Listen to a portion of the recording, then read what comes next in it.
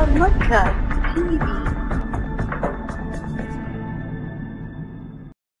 asalaamu calaykum waraxmatullaahi wabarakaatu ku soo dhowaada horumarka t v. Anigoo ah deeqa nuur waxaan idin leeyahay ku soo dhowaada maanta waxaan waraysanayaa ebian ambasador ebian ladane saalax ebian oo ah ambasadorka noo fadhisa soomaaliya india.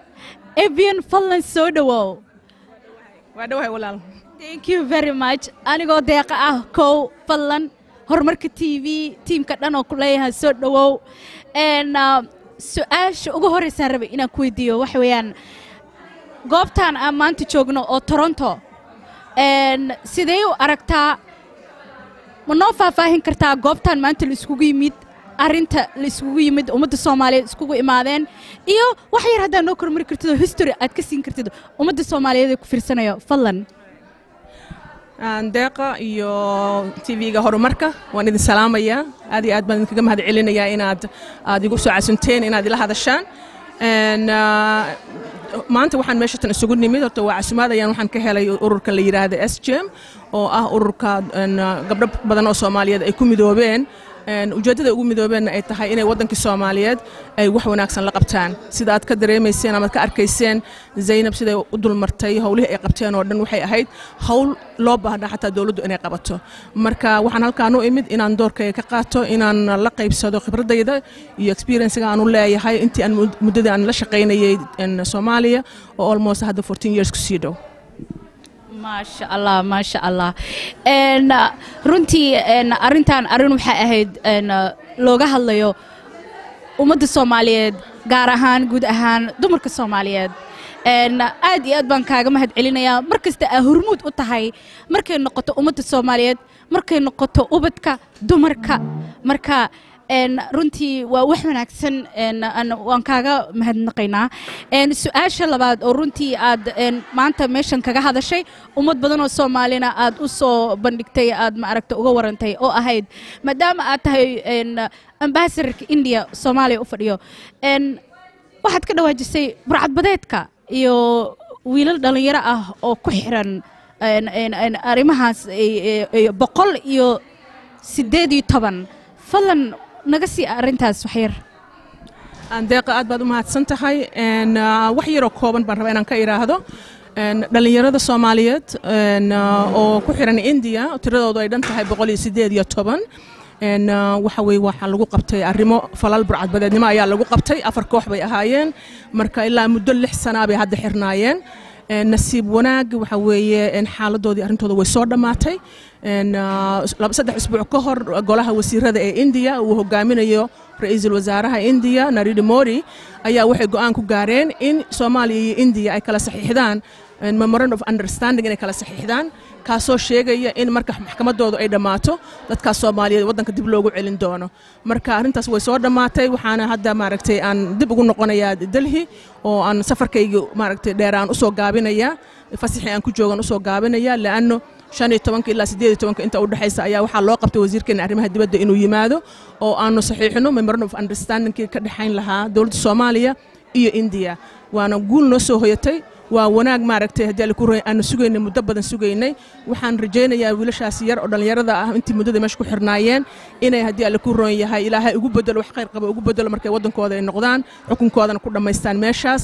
Marka waxaan leeyahay waa farxad gaara oo maaragtay safaaradda soomaaliyeed u soo hoyatay. Waa farxad gaara maaragtay dhallinyaradii igala shaqaysay axmed xiish oo ah fair secretarygii safaaradda oo in muddo ah si ku sii socday kana soo socday. Aan uga mahad celinaya waxyaabihii uu la qabtay looyarka loo qabtay oo meesha jooga. Marka waa arrin farxad leh a really maaragtay I'm very happy about it going back to Somalia maasha allah ambasador runtii hawshaas hawl fudud ma aha. Waa dareemi karnaa ummadda soomaaliyeed sida u adag tahay ee, burburka maadaama soomaaliya gaaray in ma aragtay howlahan ay- runtii ay tahay wax aad aad aan u fududayn. Laakiin qaybta aad ka qaadatay iyo sida aad uga soo shaqaysay iyo sida indiya ma aragtay ee runtii ee kaalinta weyn ayadana ay kaga qaadanayso aad ma aragtay wax uga bedelayso runtii markan ummadda soomaaliyeed horumarka t v dhammaan aad iyo aad baan kaaga mahad celinaya waxaan ku leenahay jiroo joog ku guulayso. Su'aasheedii ugu dambaysa fadlan raba inaan ku weydiiyo waxa weeyaan.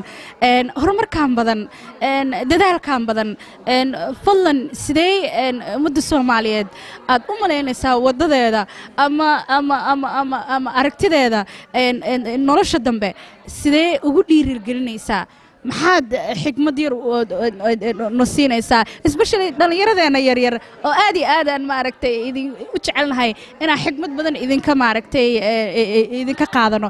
Fadlan ambassador. Noo kormar deeqa mar labaad waad mahadsan tahay. Laba qodob haddaytaan maarata shirka aan ka sheegay.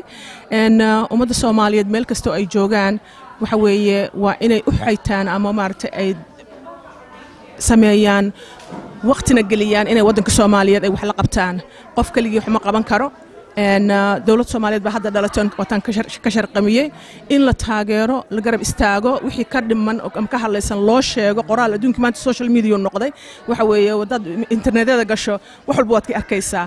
Marka marka ugu horeysa in ummadda soomaaliyeed meel kastoo ay joogaan ay dowladooda ay aaminaan oy la shaqeeyaan ay taakuleeyaan baan horta ku dardaarmayaa dhallinyarada soomaaliyeed ee qurbaha joogta oo adigu ka mid tahay dhallinyarada kaletana waxaan leeyahay marka ugu horeysa waxaa Soomaaliya ku maamahada nafta qofkii tiisa daryeelatu kala ku dara.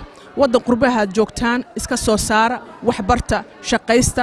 Marka waxba lidinka waayi maayo inaad wadankii wax ku contribute garaysaan inaad wadankii tagtaan ka soo shaqaysaan inaad maaragtay caqligiina iyo cilmigiina iyo experiencegiina aad la qaybsataan Soomaaliya waxba lidinka waayi maayo. Laakiin marka hore tacagihiina ku istaaga dad noqda meesha aad joogtaan ka dhalaala. Assalaamu calaykum maasha allah runtii wanaagaaga dhiirigelintaada waxa waxa weeyaan ummadda soomaaliyeed especially dhallinyaradana aad ugu baahanahay oo baahi noo hayso. Runtii maantay aan ku dhegaysanaynay sidaad maaragta goobtan quruxda badana uga hadashay dardaaranka ummadda soomaaliyeed u bandhigtay. Runtii aad baa kaaga mahad celinaynaa. Waxaan ku leenahay madaxweynaheena farmaajo ra'iisul wasaaraheena khayre fadlan adinka dhan soomaalida dowladda soomaaliyeed iyo ma aragtay ambaasarayaasheena caalamka meel kasta ay ka joogaan. Runtii waxaan idin leenahay shaqada aad haysaan iyo ama haddaad noqotaan gobollo ama haddaad noqotaan federal. Runtii waa wax oo annaga dhan aan idinku garab taagannahay waxaan idin leenahay ilaahay ha idin fududeeyo. Ilaahay soomaaliya runtii ha siiyo horumarka ay runtii intaasoo sano ay hadda maaragtay maqneed. Ambassador aad iyo aad baa u tahay. Waxaan rabaa inaan idinku soo laabto waa ujeedaan ambassadorka aan meesha ku wareysanay maantay ay tahay july 8 waxaan idin leedahay daawadayaal.